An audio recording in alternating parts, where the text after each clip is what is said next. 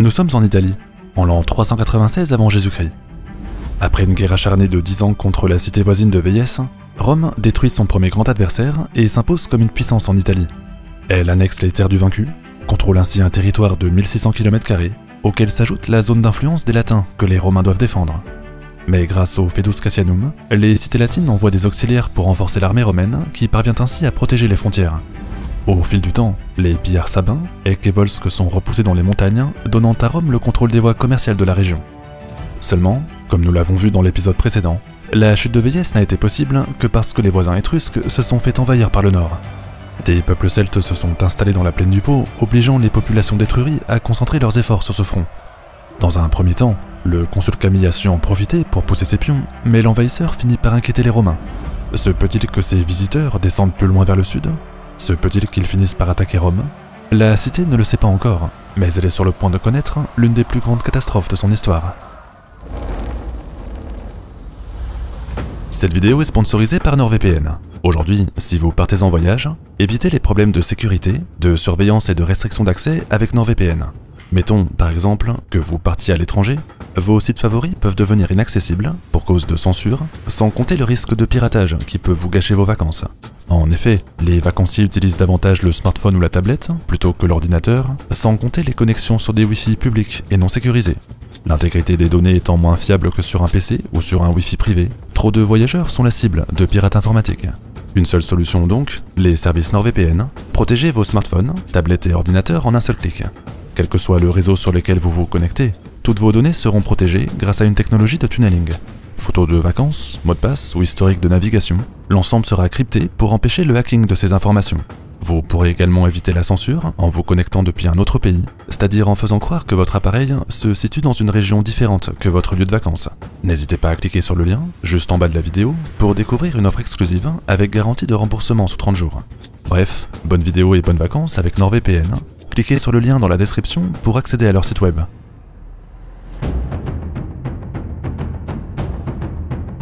Après la chute de la cité de Véies, la République romaine s'impose comme une puissance politique, militaire et commerciale de l'Italie. Elle contrôle les deux rives du Tibre, par où transitent les marchands grecs, étrusques et latins. Elle contrôle le commerce de sel, qui est récolté sur la côte. Elle partage le butin de guerre du vaincu auprès de sa population, ce qui enrichit tout le monde. Le secret de sa réussite, nous l'avions vu, il semble que l'enrôlement d'une grande partie de sa population dans l'effort de guerre a fini par faire la différence. Les batailles ne sont plus seulement livrées par de riches familles qui agissent pour leur intérêt propre, elles sont livrées par tous les citoyens qui peuvent s'acheter un équipement.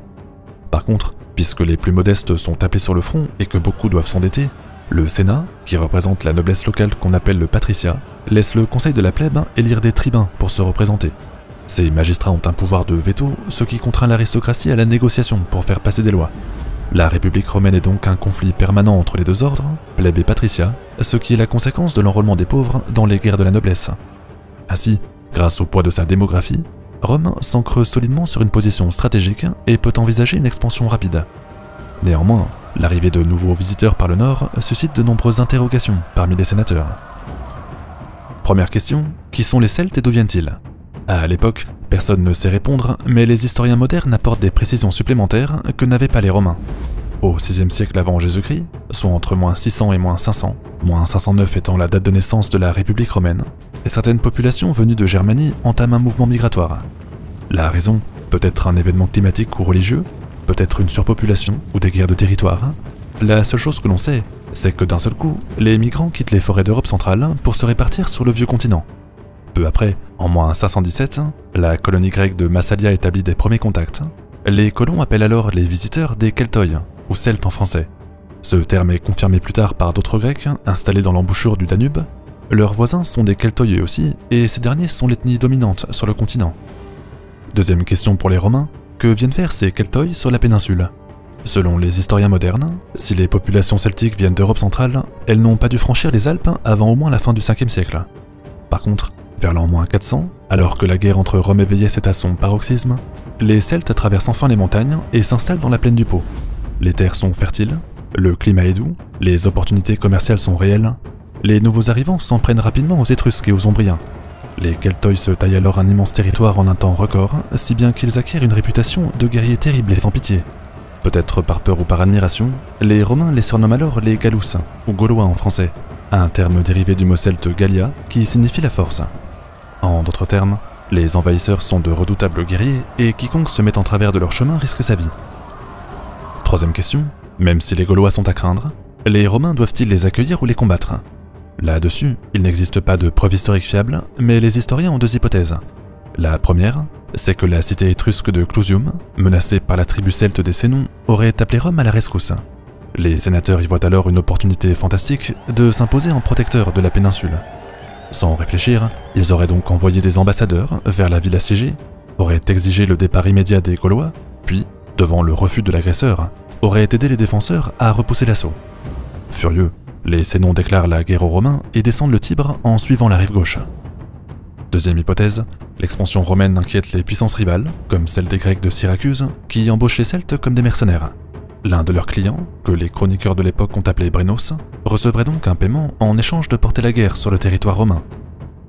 Quatrième question, que la guerre soit voulue ou bien subie par la ville éternelle, comment les Latins peuvent-ils combattre les Gaulois? La solution la plus simple serait de confier l'armée au général Camille, le plus talentueux de tous les Romains, mais le vainqueur de Veillès est accusé de corruption. Selon la légende, il aurait été condamné pour s'être trop servi dans le trésor de guerre. En conséquence, le Sénat l'aurait envoyé en exil, laissant l'armée aux mains de généraux moins talentueux. Encore dans l'euphorie de la victoire précédente, ces généraux auraient surestimé leurs forces en s'imaginant venir à bout des barbares en un rien de temps. Les chroniqueurs antiques rapportent alors que seulement 15 000 Romains se seraient avancés jusqu'à la rivière Alia, à 16 km de Rome, pour faire face à une armée considérable de 30 à 70 000 hommes. Bien entendu, les historiens modernes pensent que les Gaulois n'étaient pas plus de 20 000, mais le fond des choses est bien là. La Légion a complètement sous-estimé le camp d'en face, et cette erreur va lui coûter cher.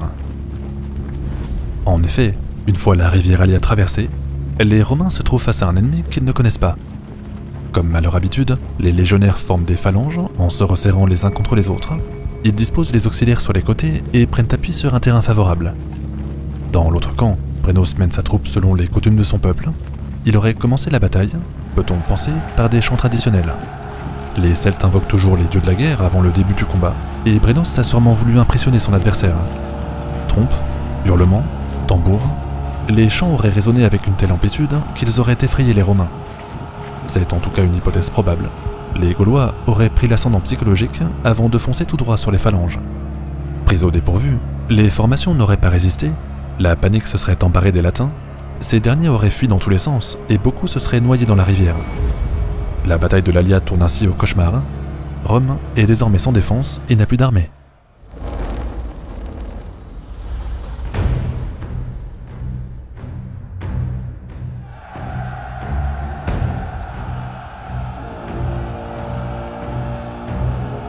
En juillet de l'an 390, l'armée romaine est défaite lors de la bataille de l'Alia. La déroute est une surprise. Face aux Gaulois de Brenos, les légions n'ont pas tenu très longtemps et la panique s'empare de Rome. En catastrophe, et comme il n'y a pas d'armée de secours, les femmes, les enfants et les objets sacrés sont emmenés à Saéré, une ville étrusque qui accepte d'accueillir les réfugiés. Ensuite, le Sénat demande à tous les hommes en âge de porter une arme de se préparer pour un siège. Jeunes, vieillards, vétérans, paysans, fermiers comme sénateurs se rendent d'urgence dans les casernes pour s'équiper. Selon la légende, le général Camille, officiellement en exil, aurait été rappelé d'urgence pour sauver la ville. Le Sénat le nomme alors dictateur, c'est-à-dire consul avec des pouvoirs illimités, le temps nécessaire pour gagner la guerre. Quoi qu'il en soit, à Rome, la population restée sur place renonce à défendre la capitale. À l'époque, il existerait un mur, appelé muraille servienne, mais l'ouvrage n'est pas encore en pierre. Selon certains, le mur n'existerait même pas en moins 390, ce qui expliquerait pourquoi les Romains se réfugient vers le Capitole. Là-haut, au sein des temples sacrés et des enceintes sécurisées, le peuple attend l'arrivée des Gaulois en invoquant les dieux pour se protéger. Lorsque l'ennemi arrive enfin, plus personne ne peut arrêter Brenos, le chef en profite pour faire piller la ville de fond en comble. Selon la légende, la cité aurait été rasée, détruite, réduite en cendres sous le regard impuissant des Romains. Néanmoins, les historiens modernes pensent que les chroniqueurs antiques ont exagéré. Plutôt, on pense que les Sénons se sont simplement servis dans les maisons, ne brûlant que les ouvrages en bois. Les temples, les statues et les monuments de pierre auraient été laissés intacts, les Gaulois n'ayant pas de machine de guerre pour les détruire. Par contre, le Capitole est rapidement encerclé et Brenos demande la reddition de la ville. Pendant ce temps, Camille ne baisse pas les bras et tente de sauver ses compatriotes. Très actif, le dictateur rassemble les débris de l'armée romaine, vaincue après l'Alia. Il réorganise ses unités, remet sur pied une force de 10 000 hommes et organise le ravitaillement du Capitole. Bien aidé par les alliés de Saïré, il peut couper toutes les voies de communication afin de piéger les Gaulois, qui n'ont bientôt plus de nourriture. Pour Brenos, la situation devient vite insupportable. Il tenterait en vain de prendre d'assaut le Capitole, mais manque cruellement de machines de siège pour prendre l'avantage. Sachant que le temps joue contre lui, il essaie d'assaillir la colline de nuit, pendant que tout le monde dort, mais la légende raconte que les oies sacrées du Capitole ont poussé des cris à la vue des intrus. Réveillés par le hurlement des animaux, les Romains ont pu repousser l'assaut in extremis. Les Gaulois seraient donc contraints à une guerre longue, Brenos coupe le ravitaillement, maintient la pression pendant 7 mois sur les défenseurs et attend simplement qu'ils meurent de faim. Finalement, au bout de 200 jours de siège, les Romains n'en peuvent plus et demandent à négocier la paix. Pendant les discussions, Brenos se montre impitoyable. Le montant de la rançon est fixé à 1000 livres d'or, soit 330 kg de métal précieux, ce qui contraint tous les Romains à mettre la main à la poche. Mais alors que l'immense fortune est rassemblée, puis présentée devant l'envahisseur, les Gaulois se mettent à peser le poids du trésor. Seulement, les Romains les accusent de tricher avec des balances truquées. Brenos utiliserait de fausses mesures, si bien que la rançon devient beaucoup plus chère. La légende dit alors que le chef Sénon se serait insurgé contre l'insolence des Latins. Il se serait rapproché du butin en y ajoutant sa propre épée avant de prononcer la phrase suivante. Vae victis hurle-t-il à ses victimes. Malheur aux vaincus, en français. Les lois de la guerre sont implacables et le vainqueur a toujours raison. Autrement dit, les Celtes ont le droit d'imposer leurs conditions, que les balances soient truquées ou non, ce n'est pas aux Romains d'en discuter. Maintenant, que la phrase Vae victis ait été réellement prononcée ou non, personne ne le sait vraiment. Les sources d'ailleurs sont tout aussi floues pour raconter la suite des événements. La première hypothèse, c'est que Camille ait barré la route au Sénon avec son armée. Il aurait engagé les Gaulois à la sortie de la ville, aurait pris une revanche sur la bataille de l'Alia et aurait récupéré la rançon. Deuxième hypothèse, Camille accroche les Celtes sans parvenir à les vaincre. Il récupère donc une partie seulement du butin ou bien n'y parvient pas. Troisième hypothèse, c'est la ville étrusque de Saéré, avec le soutien de Camille, qui tend une embuscade à Brenos sur le chemin du retour. Dans les trois cas, la cité ne serait pas détruite, mais seulement affaiblie, ce qui aurait provoqué de la déception parmi ses ennemis. En effet, certains Étrusques et certains Latins se délectaient de voir les Romains sur un précipice. De leur point de vue, il faut attaquer tout de suite, sans plus attendre, avant que Camille n'ait pu se ressaisir.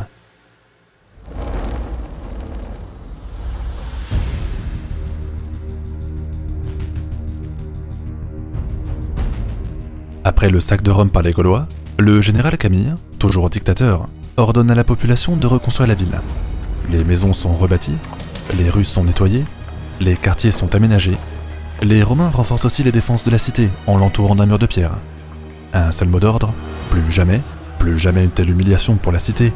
Les prochains ennemis seront accueillis au fil du glaive. Aussi, face aux incursions de Latins, d'Étrusques, d'Eques et de Volsques qui profitent de la situation, Rome répond par la violence immédiate. En moins 389, soit un an après le départ de Brenos, Camille mène une série de raids défensifs sur trois fronts. D'abord, des groupes de Eques et de Latins sont vaincus près de Préneste. Ensuite, des incursions de Volsques sont repoussées près de Lanovium. Enfin, il faut trois ans de guerre continue pour venir à bout des Étrusques qui tentent de reprendre Veillès. Mais finalement, en moins 386, toutes ces tentatives sont repoussées. Par contre, pour éviter d'être poignardé dans le dos encore une fois, Rome doit envisager des solutions pour se sécuriser. Le meilleur plan consiste alors en trois options. 1. L'occupation militaire des cités ennemies avec le maintien d'une garnison. 2. L'annexion pure et simple. 3. La mise en place de colonies avec l'envoi d'une population romaine directement sur place. Dans le premier cas, Rome maintient une garnison militaire dans de nombreuses cités rebelles comme Gabi ou Lanovium. Les gouvernements locaux sont suspendus, les impôts y sont prélevés directement les habitants vivent sous occupation permanente. À la moindre tentative de désobéissance, les mouvements sont réprimés sévèrement. Simple et basique, l'occupation forcée rétablit l'autorité romaine dans le Latium. Sinon, en deuxième recours, l'annexion pure et simple apporte aussi des avantages. À l'instar de Veillès qui fut détruite, pillée, ravagée de fond en comble avant que les habitants soient réduits en esclavage, annexer un territoire revient à le soumettre entièrement. Les vaincus qui peuvent rester conservent leurs traditions mais n'ont aucun représentant et n'ont pas de droit. Ainsi, les cités de Tusculum, de Capena et de Féronia subissent le même sort que Veillès. Elles sont annexées à Rome et leurs habitants sont soumis. Troisième façon de pacifier le secteur, la colonisation, dont les Romains se font rapidement les spécialistes. Le concept est très simple. D'abord, fonder une ville à partir de rien, comme les colonies de Nepeta et de Sutrium, qui sont situées en plein territoire étrusque. Ensuite, y envoyer des colons pour habiter les villes. Enfin, établir des liens commerciaux avec les voisins pour s'ancrer dans la région. Les Romains étant plus riches que les autres grâce au commerce sur le Tibre, être en bon terme avec eux devient une priorité pour tous les marchands. Les colonies s'ancrent rapidement dans le bassin économique local, ce qui contribue à leur prospérité. Plus, si jamais les colons sont menacés, ces derniers pourront compter sur leurs partenaires commerciaux qui viendront les défendre. Bref, soit la répression, soit l'annexion, soit la colonisation, Rome maintient un équilibre parfait entre la peur et l'intérêt commercial. Le problème, c'est qu'à force de dominer les autres, les ennemis de la cité tentent de s'allier pour contrer son hégémonie. En moins 377, une coalition de latins, de Volsque et de se réunit près de Satricum. Les Romains anticipent, alors que la région subit des orages, l'armée coalisée est vaincue dans une première bataille. Les phalanges romaines sont cohérentes par rapport aux phalanges latines, Hernique, qui manquent de coordination. Le combat est remporté par les Romains qui montrent qu'ils n'ont rien perdu après la mésaventure gauloise. En tout cas, la bataille de Satricum motive encore le Sénat à continuer sa politique. La cité latine de Tibour est occupée, les Herniques sont annexés, purement et simplement, et une colonie romaine est fondée en territoire volsque. Ainsi, et jusqu'en moins 354, quelques années après la mort de Camille, Rome finit par écraser complètement ses voisins proches. Mais à force de grandir et de grandir, elle attire l'attention d'une autre puissance, qu'on appelle les Samnites, qui regarde d'un œil mauvais cette expansion rapide. Dans le prochain épisode, nous verrons comment Romains et Samnites se sont livrés à une guerre sans merci pour la domination de la péninsule. N'oubliez pas de mettre un commentaire si la vidéo vous a plu, et merci à NordVPN pour l'avoir sponsorisé. Choisissez la sécurité sur Internet en cliquant sur le lien en dessous de votre écran.